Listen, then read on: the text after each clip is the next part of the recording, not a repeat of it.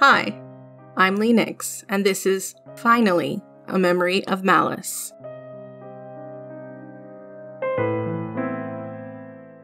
I know, I was gone for a bit. I never intended it, but it happened. I'll talk about it a bit at the end of the episode. As for this episode, it's a Canadian serial killer case. I know it's sacrilegious in true crime circles, but I don't like serial killer cases. There are a lot of reasons that none of you are probably interested in, but it makes covering these cases a bit harder.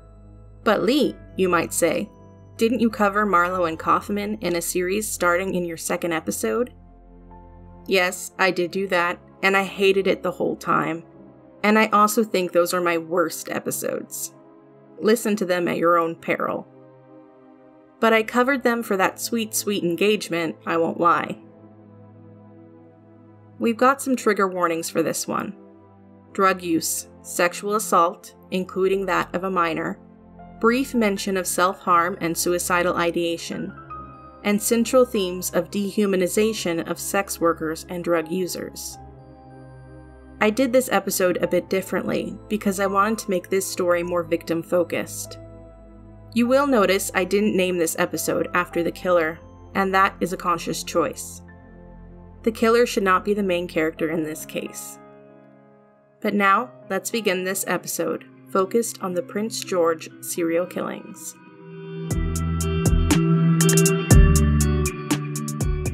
On December 2nd, 1973, Jill Stacy Stuchenko was born. Perhaps. She might have been born on September 2nd instead. Details about Jill are sparse and hard to find. This will be a common refrain in this episode, I'm afraid. The only information that news outlets seemed to feel was important about Jill was that she had a drug habit and was a sex worker. But there was more to her than her struggles with addiction and the way she made a living. She was a real, three dimensional human being. Jill had six children, and she was struggling to be a better mother for them.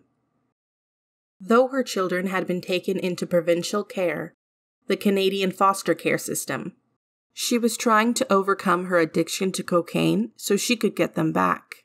According to Jill's friend, Les Dermid, she had stopped before because they, the provincial care system, were talking about adopting her children, and she wanted her kids back. She was serious about getting them. When asked to describe her, friends said she had a bubbly, happy personality. She loved to sing and dreamed of being a professional singer. But her home life was chaotic. Her partner, and father of two of her children, had been in prison twice for assaulting her. He would later say that these were the results of the pair's arguments about Jill's drug use, a poor excuse for domestic violence. She wasn't entirely without support. She had friends, like Les Dermid.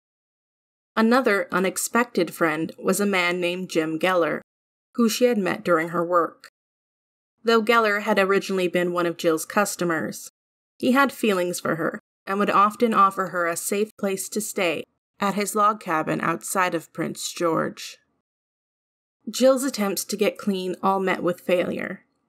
No matter how long she stayed at Geller's cabin, she couldn't ignore her addiction. And though Les Dermid would drive her to rehab multiple times, it never stuck. Dates in this case aren't very exact. We know that sometime around October 9, 2009, Jim Geller offered to have Jill over at his family's Thanksgiving festivities. For those who don't know, Canadian Thanksgiving is held on the second Monday in October, rather than the fourth Thursday in November. But Jill refused his invitation. Geller would later say that Jill looked haggard, and her feet and the bottom of her jeans were dirty. But there wasn't anything else he could do, so he dropped her off around 20th Avenue and Queensway. We know that, in the early evening of October 9th, a local RCMP constable by the name of Mark Hansen stopped to speak with Jill on 20th Avenue in Queensway. I can't be sure this was the same evening that she got a ride from Geller, though. Their conversation lasted three to five minutes before they both moved on. As far as I'm aware, this is the last recorded interaction that Jill had before her death. We can piece together what happened to her from evidence, but it's not a complete picture. At some point on October 9th, she was either picked up or called by a young man.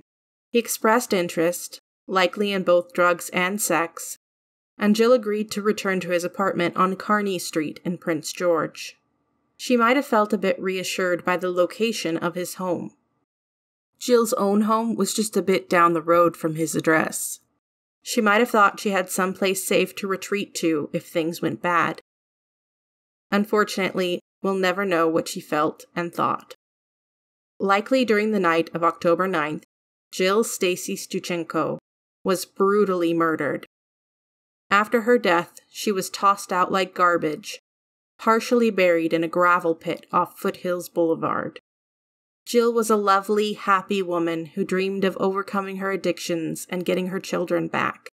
She loved to sing, and she was loved dearly by her friends and family. But her killer didn't even see her as a human being. It didn't take long for people to notice her disappearance. The current guardian of one of her children became worried when she hadn't called her. Jill kept in contact with her regularly. After some time waiting and worrying, her friends filed a missing persons report on October 22, 2009. Her partner read about her disappearance in the newspaper. He hadn't realized Jill was missing. He came forward with more photos to share with the media. It hardly mattered. Whenever Jill was mentioned in articles or on the news, it was invariably alongside an unflattering photograph of her glowering into the camera with a black eye. On October 26th, Johnny Pius, who has the name of a Golden Age comic book character, was collecting cans near an extinguished campfire by the Foothills Boulevard gravel pit. Unfortunately for Mr. Pius, he stumbled upon Jill's body. He immediately rode his bike to the nearest RCMP detachment to report what he'd found.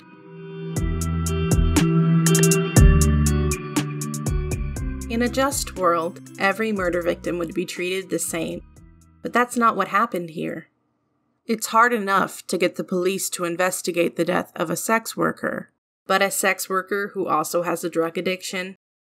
It's fair to say there was almost a blithe unconcern. If you're a fan of true crime, it shouldn't come as a shock to find out that the police don't respect the humanity of sex workers.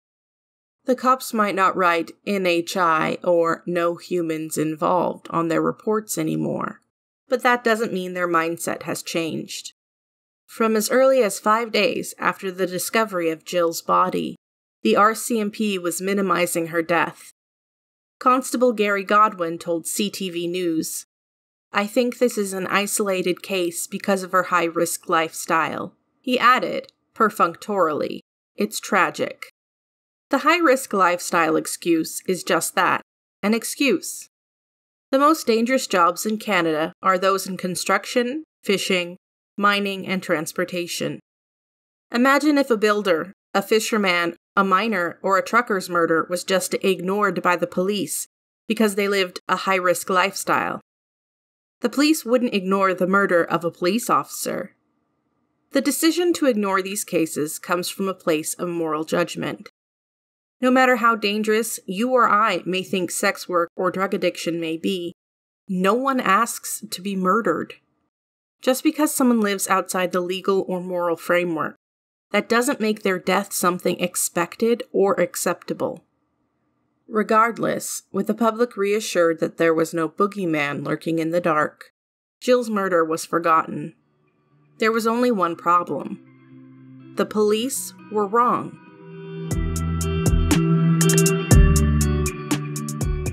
Natasha Lynn Montgomery was born on March 14, 1987.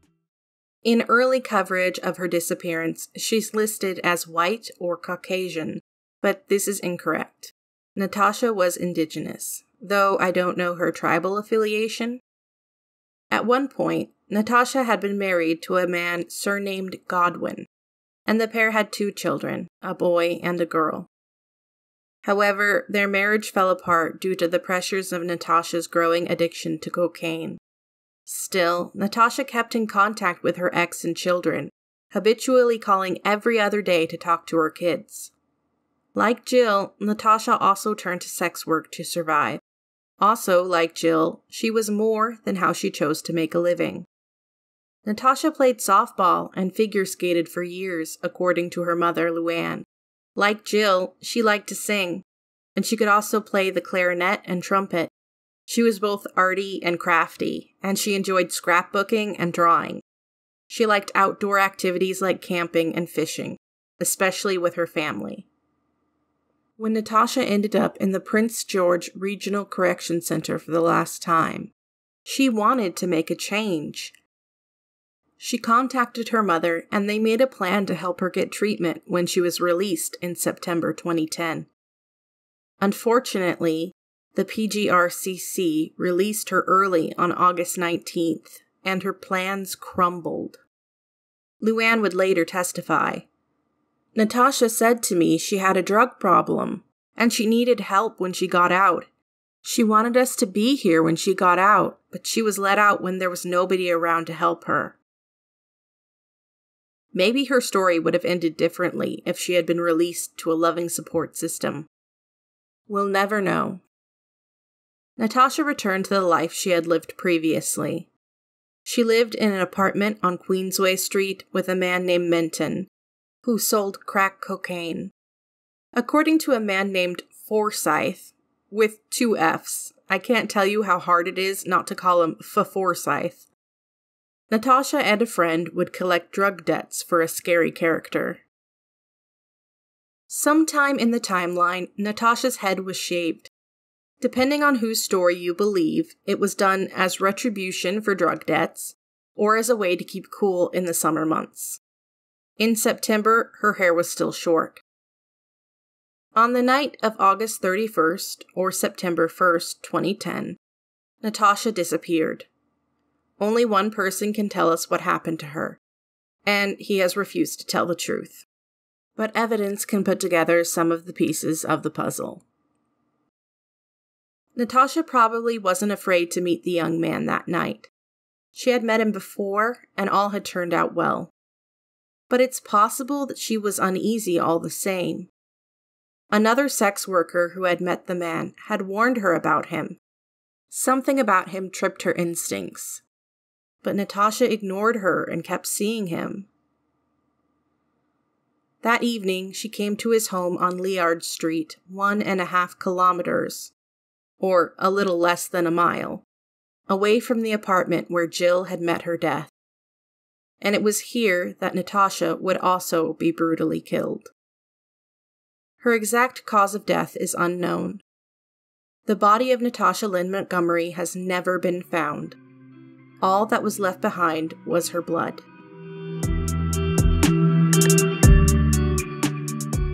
Cynthia Frances Maas was born on May 29, 1975. According to her sister, Judy, Cynthia was born with a disability but I have no idea what her specific disability was. However, she was left more trusting and innocent than an abled person as a result. She was described as kind, someone with everyone's best interests at heart. But this made her more vulnerable, too. Judy told how Cynthia first tried drugs when her cousin told her to try something that would make her feel good. Completely trusting, she did. Cynthia seemed to get pulled into a spiral she couldn't escape. She became addicted to drugs, and she turned to sex work to pay for them. But she seemed to be deeply saddened by the way her life was turning out. She even sent a text to her niece, apologizing that she wasn't the auntie she wanted to be. As an Indigenous person, it would be all too easy for Cynthia to fall through the cracks of the system, but she was trying to straighten her life out. We know what Cynthia was doing on September 9th, 2010, because she was filling out paperwork for the Association Advocating for Women and Community, or AWAC, shelter. She also filled out some other forms for a social worker. The same day, she made a phone call to her stepfather. The only recorded contact she had after this point happened the next day, September 10th when she visited the apartment of Patricia Thiessen and Tim Senft. She washed up there, and Patricia gave her a coat, After this, she was never seen alive, though that coat would be found on her body.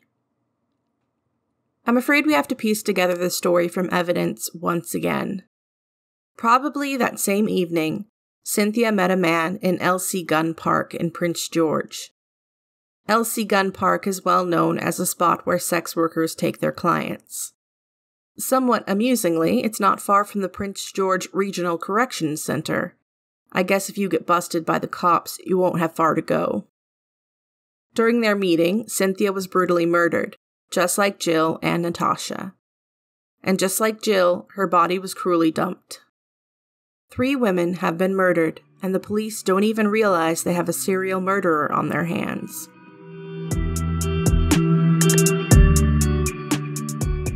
Both Natasha and Cynthia were reported missing on the same day. The media ran a few stories on the missing women, but mostly their loss was ignored. Police made sure to mention the women's high risk lifestyles in their quotes, and the media dutifully ran them. All the while, two families were terrified, wondering where their missing loved ones were.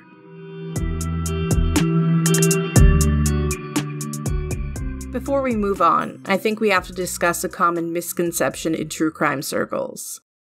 I talked about this before in my Marlowe and Kaufman episodes.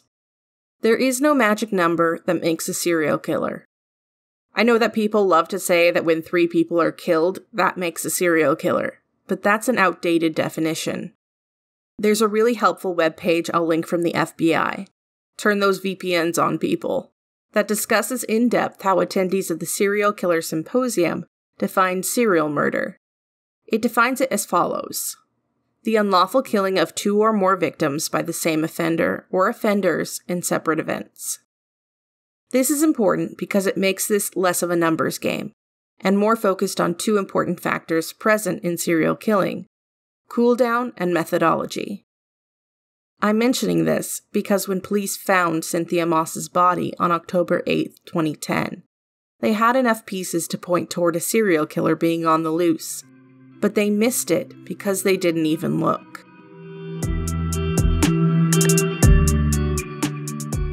Life seemed to move on for everyone unconnected to Jill, Natasha, and Cynthia. Nearby, a girl was chatting online with a new friend. This girl was 15 year old Loren Donn Leslie, a 10th grader at Nechako Valley Secondary School, and she had no idea she was flirting with danger. Loren was a light. Everyone described her as kind, happy, and a girl who would stand up for what she thought was right. She was talented, too. She'd acted in school musical theater productions. Yet another musical soul in this sad story. She was made uniquely vulnerable by a disability. She had been born with no vision in one eye and only retained 50% vision in the other. Legally, Loren was blind. She also struggled with her mental health. She would self harm and had what sounds like passive suicidal ideation. She had stayed in a mental health hospital at least once. Additionally, Loren had problems at home. Her mother was struggling with alcohol addiction, and that is a hard thing to cope with for anyone, let alone a teenager. So Loren turned to social media, specifically a Canadian social media site called Nexopia. While posting online under the username Ba the Sheep, Loren met a user called One Country Boy. Through their messages, Loren learned that One Country Boy was a man from Prince George, whose name was Cody. Cody and Loren became close, eventually leaving the message boards to trade text messages between them. Loren's parents had no idea that she was trading text messages with an adult man. At 6:31 p.m. on November 27, 2010, Cody sent a message to Loren where he began making arrangements to meet up. He told her not to tell anyone, to which Loren innocently replied, "Well, we're just hanging out, right? Nothing sexual. Just before 8:30 p.m. that same evening, Vanderhoof Children's Theater coordinator Richard Ruth and co-worker Noella Hansen were driving towards Nechako Valley Secondary School to drop off some things when they saw Loren leaving her apartment. Both of them were acquainted with Loren, and so knew her well enough to identify her quickly by sight. Ruth said that it looked like Loren was doing something on her phone or another electronic device. And he especially noticed her because she was wearing shorts even though it was so cold out. Ruth and Hanson dropped the items off at the school and headed back to Noella's house so she could be dropped off. On their way, the pair passed McLeod Elementary School, where they saw a few odd things. The first thing they noticed was a truck parked, engine running, near a chain link fence at McLeod Elementary School. I think this fence probably surrounded a recess or play area, because inside it was a swing set where the pair saw Loren sitting. They saw a man walking towards her. Ruth noticed that the man was also wearing shorts. I said to Noella it was bloody cold, and why are they wearing shorts? He wasn't wrong. According to Weather Underground, it was around negative 6 degrees Celsius, or 21.2 degrees Fahrenheit, which was below freezing. I literally can't imagine weather that cold. Hanson herself noticed that Loren wasn't smiling. Not noticing anything wrong, the pair continued on their way. While in Cody's truck, Loren was texting with her friend and neighbor, Charity Funk. Charity had texted her friend asking her to go to coffee, but Loren apologized, texting that she was driving with a friend from PG or Prince George named Cody. She told Charity that they could maybe get coffee the next day. On the witness stand, Charity explained that she and Loren had fought over something minor, and they hadn't spoken for a week before this night. This was a tentative step towards making up, but Loren would never have the chance to reciprocate it. There are two different stories about what happened that night Cody's version and the truth. We don't know the whole truth, but we have a good idea. Cody drove his truck off a rural side road in the Vanderhoof backwoods. I mentioned in my Maddie Scott video just how many of these there are, and how easy it is for them to be used for nefarious purposes. This case is proof. I don't think anyone knows what led up to Cody stabbing Loren. Perhaps it happened after he tried to have sex with her, and she rebuffed him, or maybe he stabbed her first. Either way, Loren was stabbed in the neck with a knife attachment of a Leatherman multi tool. It's not clear whether it started in or outside of his truck but it ended outside in the cold snow. Cody took a pipe wrench and hit Loren multiple times in the head with it. American anthropologist Stephen Symes would later testify that, judging by the line of trauma on her skull, Loren was hit at least four times, with notable force bordering on tremendous. When Cody was done with murder and sexual assault, he dragged Loren's body past a gravel pit into the brush and tree line. He used a tree branch to try and sweep away his tracks and drag marks, and then fled in his truck.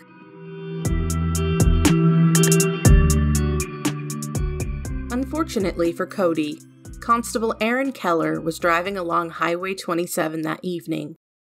Constable Keller was heading to meet another RCMP officer, Constable Kanwalpreet Sidhu, to give him some property that had been misplaced during a car accident. I apologize if I mispronounce Kanwalpreet. I couldn't find a pronunciation guide for it that wasn't a robot. Keller just happened to be passing by when he saw a dark truck heading down a logging road in what he described as a quick manner. Keller immediately wanted to pull over the driver, but notified Sidhu first. He didn't want to pull over a poacher and get shot. When Sidhu joined him, he pulled the truck over to the side of the highway and approached. Before he'd even gotten to the car, the driver had his license and registration in his hand and held out the window. He thought this was strange, and I do too. Maybe it's just me, but I happen to know cops are extra twitchy about traffic stops. Sticking your hand out the window with something in it seems really fucking dumb. Unfortunately, the driver was not shot. Keller took the license, and while he did, he noticed the driver was wearing shorts and a sweater. The name on the license was Cody Legebokoff, and his birth date revealed him to be 20 years old. As Constable Keller stood there, he began to notice other, more troubling things. He saw a smear of blood on his chin. A closer examination revealed drops of blood visible on his thighs. At this point, Keller was pretty sure Legebokoff had been poaching, and he wanted an excuse to look through his truck for more evidence. When he saw an open beer can behind the driver's seat, he got it. He told Legebokoff to get out of the truck so he could search it for a liquor violation. Surprisingly, Legebokoff complied. I say surprisingly because he knew what they were going to find in there. Firstly, as Legebokoff got out of the vehicle, Keller noticed more blood on his legs and a puddle of blood on the driver's side floor mat. Sidhu searched the truck while Keller patted down their suspected poacher. On him, he found a cell phone that would later be identified as Loren's, and a multi tool covered in what was described as gelled blood. Fully believing that they'd stumbled onto a poacher, Keller asked Sidhu to call in a conservation officer. This officer had tracking skills, and they hoped that they would lead them to an animal carcass of some kind. Then Keller also began searching the truck. He opened the passenger side door and saw a small, stuffed animal backpack. A monkey. He opened it and found a hospital card bearing the name Loren Donn Leslie. Alcohol was found in the vehicle, they found a four pack of mudslides and a four pack of white Russians. Two of the white Russians were missing, and two of the mudslides were partially consumed.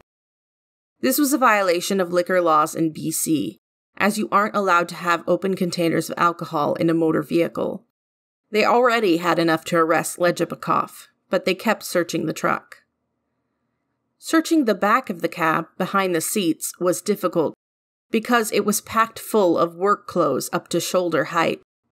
He wasn't living in his truck, if that's what you were wondering. You'll find that Cody Legebokoff doesn't mind living among mess. Either on top of or just behind the truck's center console, Keller found a bloody pipe wrench. He observed that the blood was likely fresh, given that there were also fresh clumps of snow clinging to the tool. Inside the console, Keller found drug paraphernalia, specifically related to crack cocaine. It was safe to say that Legebokoff would be arrested for some or all of these violations, but Keller decided to arrest him for the poaching first. After being read his rights, Legebokoff admitted to poaching. When asked why he was poaching, he replied, Yeah, I'm a redneck. That's what we do for fun. Legebokoff claimed he and a friend had clubbed a deer to death. Keller commented that people who take turns clubbing a deer sometimes turn into serial killers. He had no idea how right he was. The conservation officer, Cam Hill, arrived on the scene around 11 p.m. and left to retrace Legebokoff's tracks. At midnight, he radioed Keller, telling him he'd found a body. Loren's body.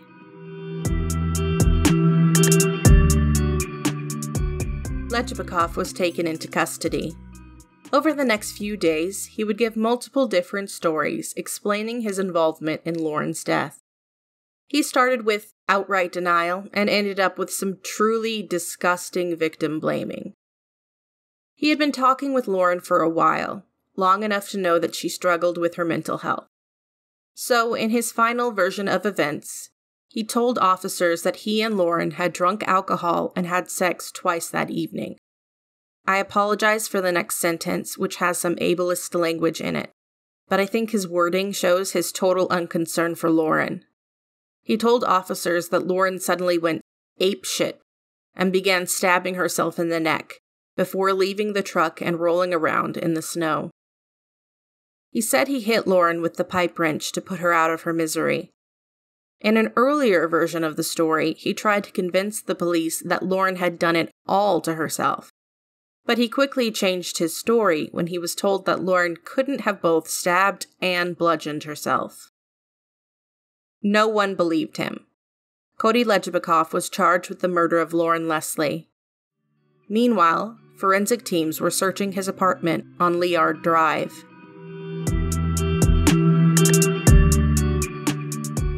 Cody Legebokoff never cleaned up if he could help it.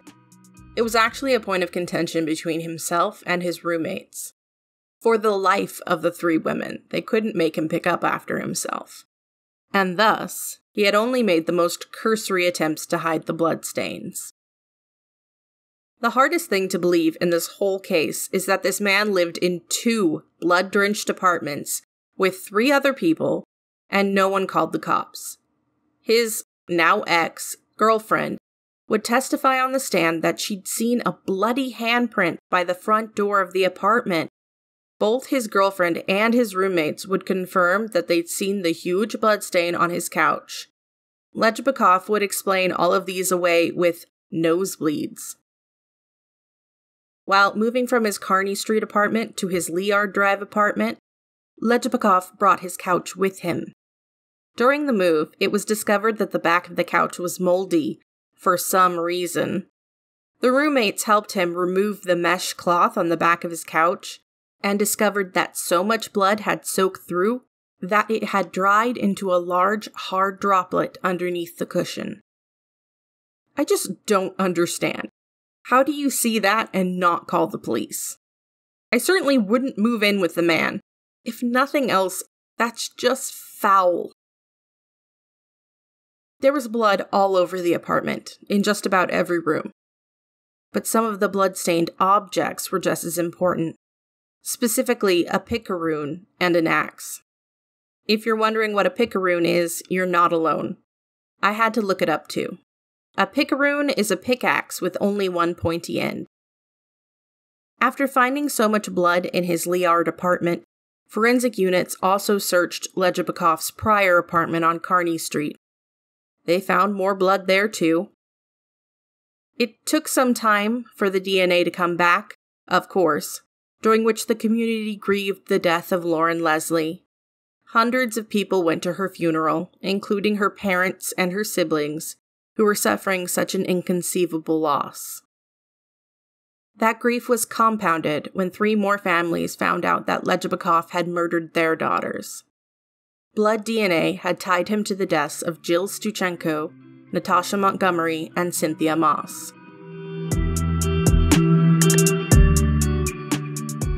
I guess this is the point in these stories where we examine the killer, where we try to figure out where it all went wrong.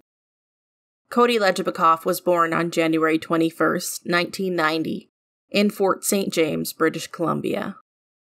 By all accounts, his upbringing was a good one, and, according to his family, he was a well adjusted boy. He was well liked and athletic. If you listen to his defense attorney, Legebokoff's life went downhill when he began taking cocaine. But I think Cody made a conscious choice to commit murder and sexual assault. Cody wasn't mentally ill. He was a misogynist with violent sexual preferences.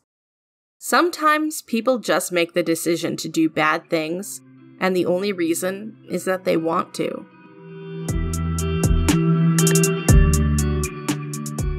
The prosecution was pretty certain of their case. They indicted Legebokoff on all four murders. This is considered risky in a couple of ways. Often, in cases of multiple murders, Prosecutors will press charges in only one or two cases. This gives them another chance if a murderer is unexpectedly acquitted. Missing body cases are also hard to prosecute because you're asking a lot of a jury to convict someone for the murder of someone who could be alive.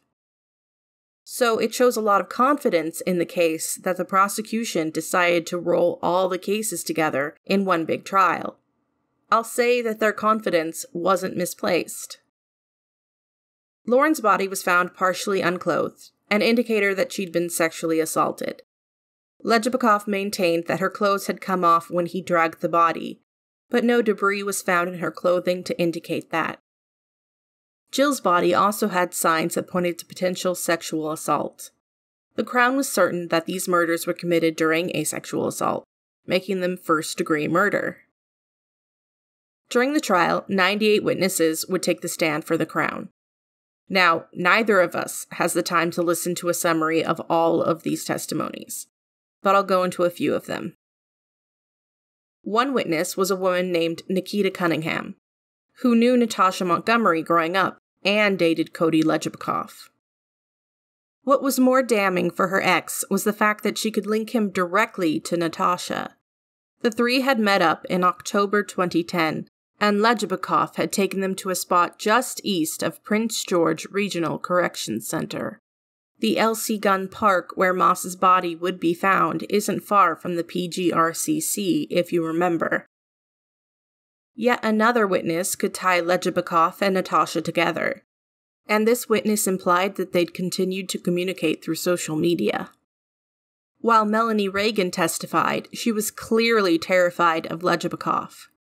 When she identified him, she told him to stop staring at her, and a bailiff stood between them to block her view. However, she still told her story for her friend. One evening, Natasha asked Melanie to spot her during a date. In this case, spotting means watching another sex worker's back, making sure they weren't harmed by their client. Melanie agreed, and the pair got into Legebokoff's pickup truck. The trio drove on Highway 16 east past the PGRCC, a similar area to where Natasha had gone with Legebokoff and Nikita. Natasha said that this was their usual spot. Legebokoff made Melanie uncomfortable. She pretended she had to go to the bathroom and had him stop at a convenience store. Natasha followed her into the bathroom. Melanie tried to tell her that he was bad news, but Natasha wouldn't listen. Natasha and Legebokoff ended up leaving Melanie behind at the convenience store that night forcing her to hitchhike back to town. When Melanie saw Natasha again, Natasha assured her that the pair communicated online, and Legebokoff had never been a problem for her. It appeared that Legebokoff's usual routine was to lure his victims through social media, though most of his social media history wasn't revealed or discussed during the trial. But we know for certain that Natasha and Loren were lured this way. Unfortunately, the last witness we've got to talk about is a witness for the defense Cody Legebokoff himself and his ridiculous story. According to him, the killers were three men that he refused to name. He didn't want to be a snitch, so he referred to them only as X, Y, and Z. Or Z, I'm not sure. X was a drug dealer, and Y and Z were enforcers. According to Legebokoff, he'd known X for only a few months. The events went something like this. One night, Legebokoff had a party. At some point in the evening, X, Y, and Jill arrived together with a few other people. Legebokoff made moves on Jill, and they had consensual sex in his bedroom.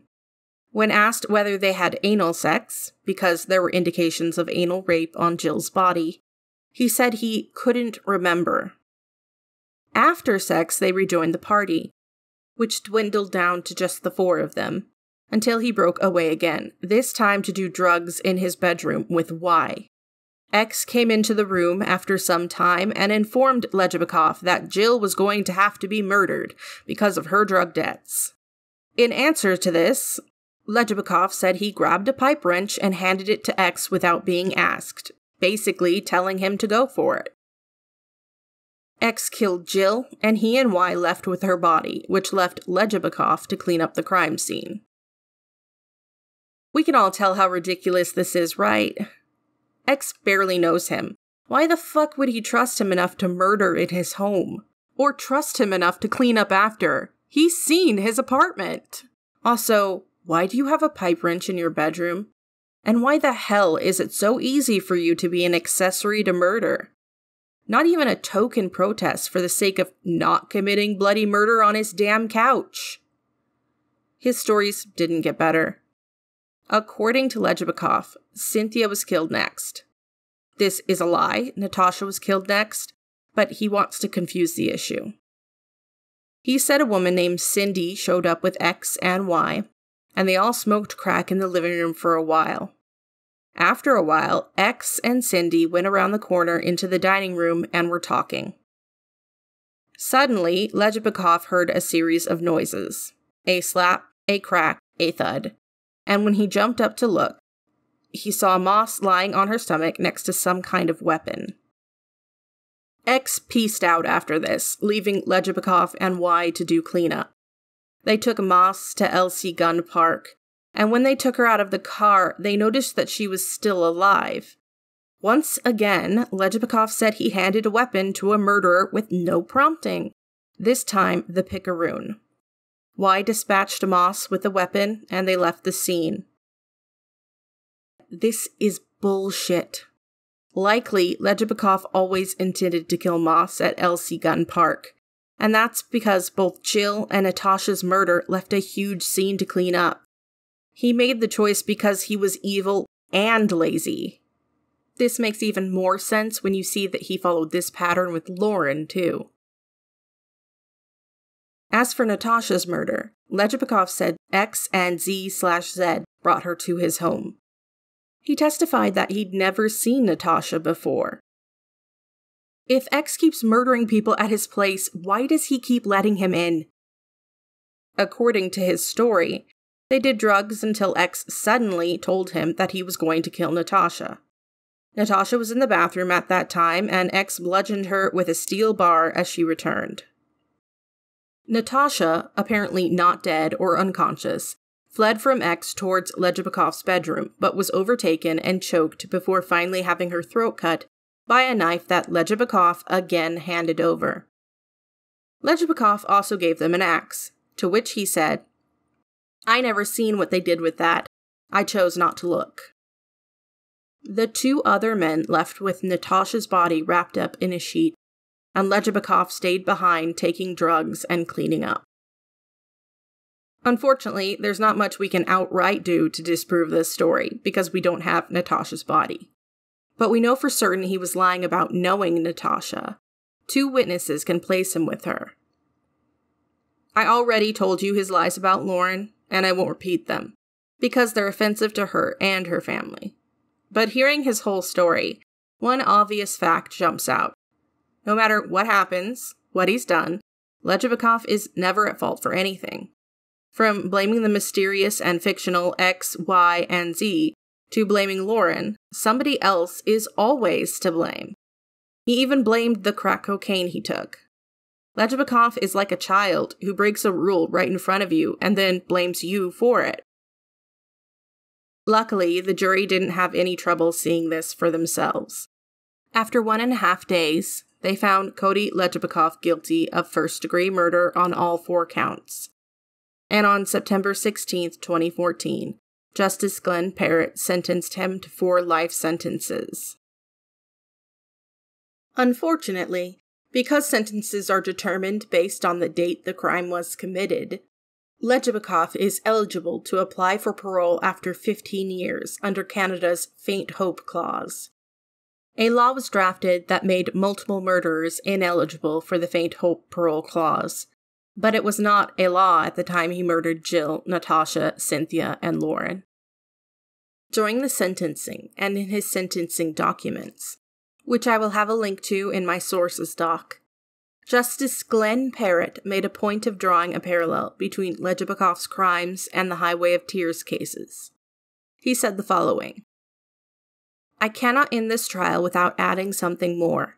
I am aware of comments being made to the effect that there is no need to embark on any formal inquiry into missing and murdered women, that policing is the solution to this problem.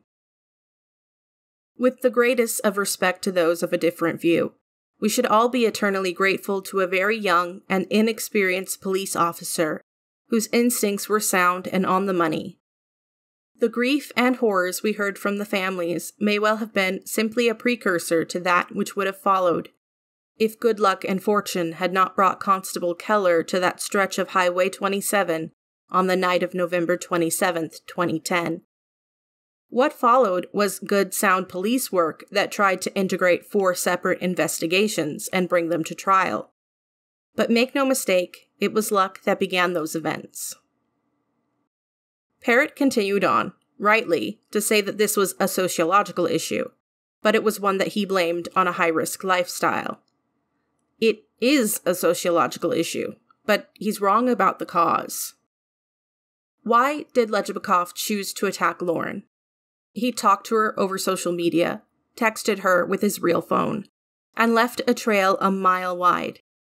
He stole her phone, but even back in 2010, he had to know that he couldn't erase the evidence of their online interactions. Police investigations would have led right to his door.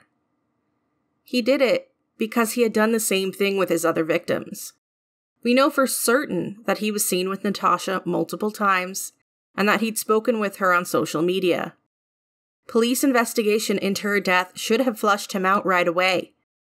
But we all know that very little, if any, investigation was done into the deaths of Jill, Natasha, and Cynthia.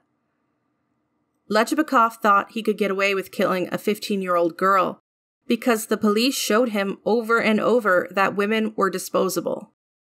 That's the real issue here that there are certain people that society doesn't seem to give a shit about. This pattern repeats over and over in serial killer cases. Sex workers, LGBTQA plus people, people of color, or any marginalized group is killed, and no one cares until that same killer targets someone society thinks is more worthy of respect. And don't get me wrong, I'm not disrespecting Loren. All the deaths in this case were tragedies. But it's hard to ignore that the media and police framing of this case treats these victims very differently. We all need to do better and remember that these people were human beings. Three of them were mothers, and one of them was just starting out in life. Each of them had families who lost an irreplaceable piece of themselves.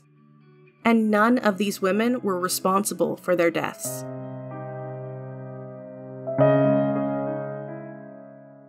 That was the case of the Prince George serial killings. I'm sorry, I was a bit much there.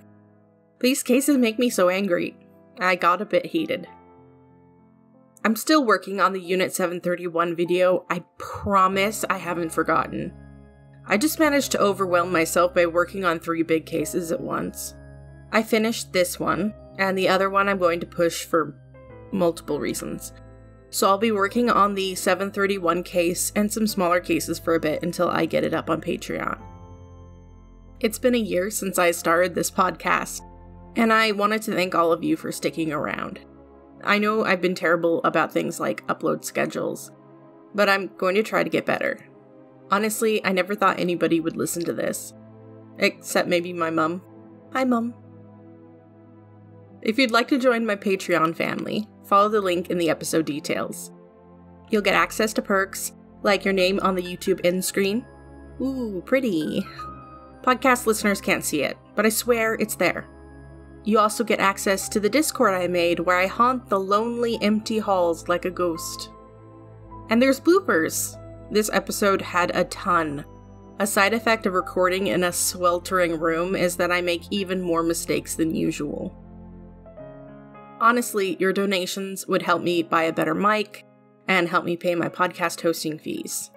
It also earns you my undying, platonic devotion. But even if you can't contribute monetarily, I love all of you. Even a like or a share makes my whole day. Seriously, I go around grinning like an idiot for hours. That's all I have for today, but it's getting really hot outside. Stay safe, stay cool, and stay hydrated.